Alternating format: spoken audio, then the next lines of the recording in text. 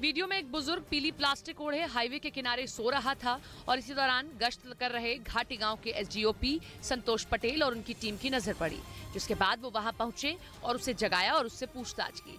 इसके बाद एसडीओपी ने खुले में सो रहे बुज़ुर्ग को उठाकर दुकानदार की झोपड़ी में ठहराया और पास में अलाव भी जलवा दिया।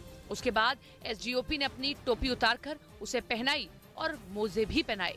तो हमारा एक मानवीय कर्तव्य था जो ड्यूटी के दौरान हमें एक मौका मिला किसी की सेवा करने का तो प्रयास किया है।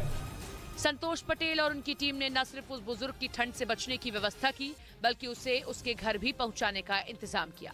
रविवार रात की इस घटना का वीडियो सोशल मीडिया पर अब वायरल हो रहा है, जिसे देख हर कोई पुलिस अधिकारी के इस मानवीय काम की तारीफ़ करते हुए उनके जज्बे को सलाम कर रहा है। कर्नाटक की राजधानी बेंगलुरु में मेट्रो का एक पिलर गिरने से दो लोगों की मौत हो गई जो पिलर गिरा उसे बनाने का काम जारी था। अपने सपनों का बिज़नेस शुरू करने के लिए आपको कोई भी बैंक बिज़नेस लोन नहीं दे रहा? बिज़नेस लोन लेने का सीक्रेट जानना चाहते हो? तो फ्रीडम ऐप को अभी डाउनलोड कीजिए। लेकिन इससे पहले कि वो पूरी तरह बनकर तैयार होता वो अचानक गिर गया। इस घटना की एक सीसीटीवी फुटेज भी सामने आई जिसमें दिखा कि जब मेट्रो का ये पिलर गिरा तब सड़क से ट्रैफ़िक गुजर रहा था। अचानक इस पिलर के गिरने से एक मोटरसाइकिल से गुजर रहे तीन लोग उसके नीचे दब गए। इस हादसे में उस मोटरसाइकिल पर सवार एक बच्चे और उसकी माँ की मौत हो गई और मोटरसाइकिल चला रहे शख्स का अस्पताल में इलाज जारी है। एक्सपर्ट्स को इधर बुला रहे हैं ताकि ये जो कोलैप्स हो मेट्रो मेट्रो पिलर उसका कारण जानने के लिए। मेट्रो पिलर के गिरते ही गाड़ियों की रफ्तार धीमी हो गई और लोग पिलर के नीचे दबे लोगों की जान बचाने के लिए भागे। बाद में पुलिस की टीम भी वहाँ पहुँची और इस मामले में ठेकेदार के खिलाफ शिकायत दर्ज कर आगे की जाँच शुरू कर दी।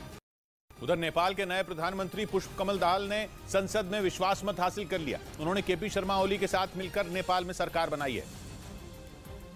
लेकिन विश्वास मत के लिए मतदान होने से एक रोज पहले ही उन्होंने विपक्षी पार्टी नेपाली कांग्रेस से भी समर्थन की मांग की। इसके लिए वो खुद नेपाली कांग्रेस के अध्यक्ष और पूर्व प्रधानमंत्री शेर बहादुर देवबा से मिले, जिनके समर्थन के बाद उन्हें प्रचंड बहुमत मिला। पुष्प कमल दाहल के समर्थन में 275 में 272 सांसदों ने वोट किया।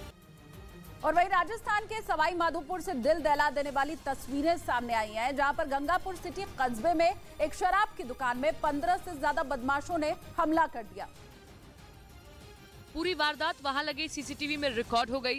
वीडियो में बदमाशों के हाथ में तलवार नज़र आई, जिससे वो ताबड़तोड़ हमले करते दिखे। बदमाशों ने एक सेल्समैन पर तलवार से हमला कर दिया। हमले में सेल्समैन गंभीर रूप से घायल हो गया, जिसका इलाज जयपुर के अस्पताल में चल रहा है। हमलावरों ने वाइन शॉप में तोड़फोड़ भी की और नकदी लेकर फरार हो गए। दुकान पर से दो लाख की नकदी ले गए और तलवारों से ये हमला किया उठा के ले गए इनको। वहीं इस मामले में कोतवाली पुलिस ने आरोपियों के खिलाफ मुकदमा दर्ज कर मुख्य आरोपी को गिरफ़्तार कर लिया है और दूसरे आरोपियों की धरपकड़ में जुटी हुई है। ठेके पर मारपीट की थी करण हरिजन ने तलवार की मार दी थी सेल्समैन के। करण हरिजन को गिरफ़्तार कर लिया है। बताया गया कि बदमाशों ने शराब की दुकान में सेल्समैन से शराब मांगी थी लेकिन शॉप बंद करने का समय हो गया था जिसकी वजह से सेल्समैन ने शराब देने से मना कर दिया। नाराज़ बदमाशों ने सेल्समैन को मारने की धमकी भी दी। और कुछ देर बाद अपने दोस्तों के साथ आकर हमला कर दिया। तोड़फोड़ और दुकान में लूटपाट की वारदात को भी अंजाम दिया।